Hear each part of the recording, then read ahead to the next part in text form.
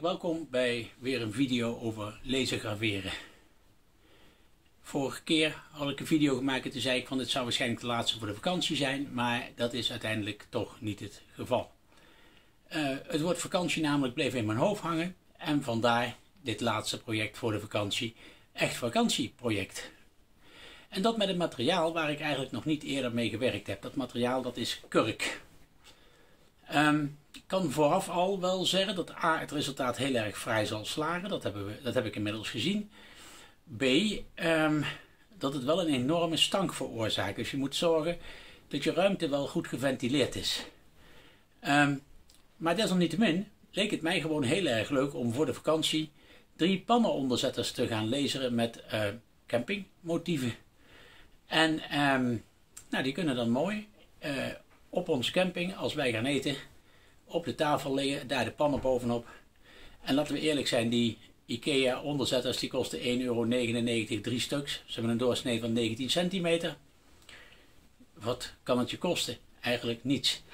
Um, Lightburn ga ik u niet laten zien in dit verhaal weer, want ja, er is, ik heb daar zoveel verschrikkelijk veel video's al van gemaakt.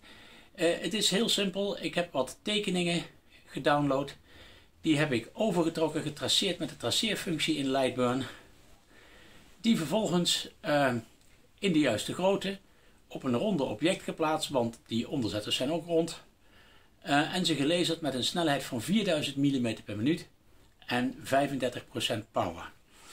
Wel even in acht nemen de maximale dpi die jouw laser aan kan. Dat is in mijn geval 254 dpi.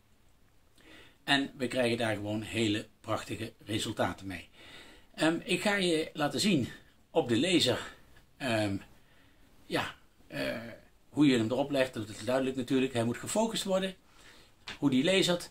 Ik werk het uiteindelijk af met wat transparante lak. En ik ga je het eindresultaat laten zien. En voordat ik zover ben, wens ik je nu alvast hele fijne vakantie toe. We hebben de kurken onderzetter uh, op zijn plek gelegd. Hebben gefocust.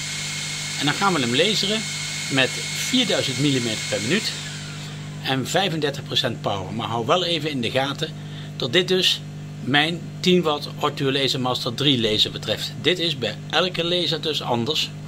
Um, en dan gaan we die onderzetter laseren. En je ziet de afbeelding er langzaam op verschijnen. En dat ziet er natuurlijk prachtig uit.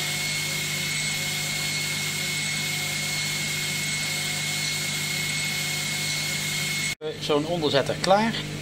Het enige wat mij rest te doen, en dat ga ik buiten even doen, is hem insprayen met um, transparante lak.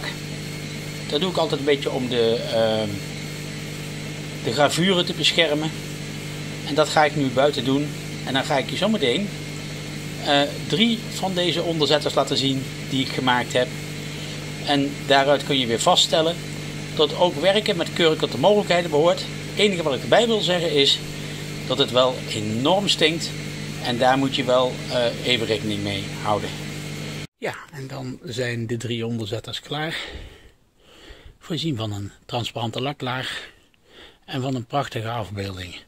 Je kunt je voorstellen dat je gewone glazen onderzetters kunt gebruiken. Dit zijn onderzetters voor pannen. 1,99 drie stuks bij de IKEA. Wat kun je eraan verknallen? Eigenlijk helemaal niks. En je hebt gewoon een prachtig en leuk resultaat. Ik hoop dat je deze video leuk vond. Tot de volgende keer. Dag.